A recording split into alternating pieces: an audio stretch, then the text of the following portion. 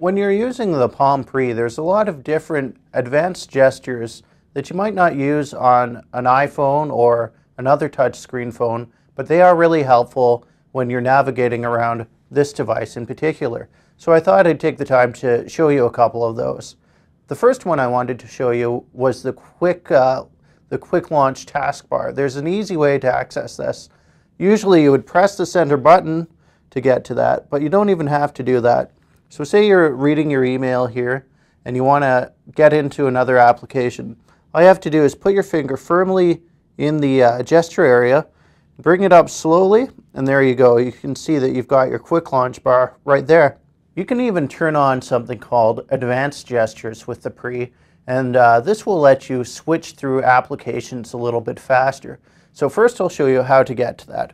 First of all, you want to go to your uh, home screen, so get and then get your launcher up and pan over until you find the screen and lock settings. I'm going to go into that and right at the bottom, once that comes up, I'm going to see the advanced gestures option. So I can switch that from uh, off to on just by swiping over the little blue tab there.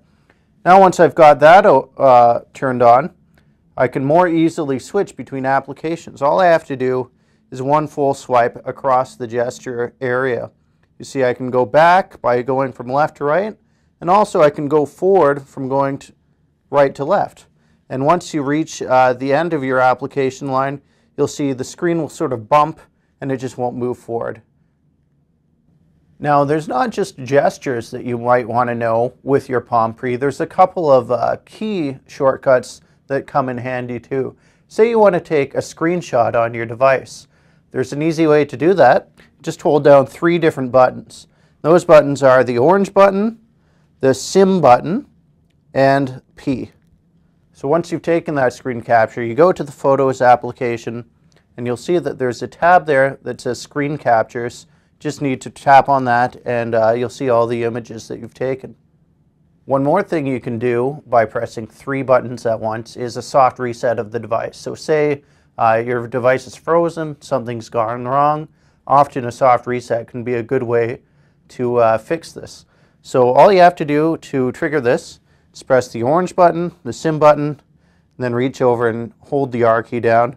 You hold that until you see the Palm logo. That means that you've got your soft reset and uh, your device is rebooting.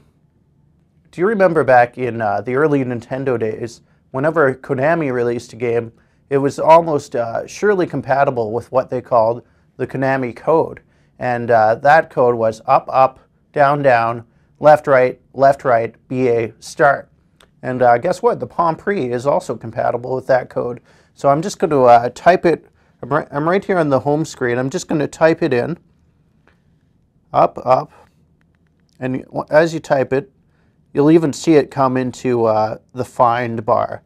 So you don't have to uh, type it correctly all at once. You can even backspace and fix it. So you type it all in, no spaces, just one long word. Once you type that in correctly, you'll see a developer mode enabler come up.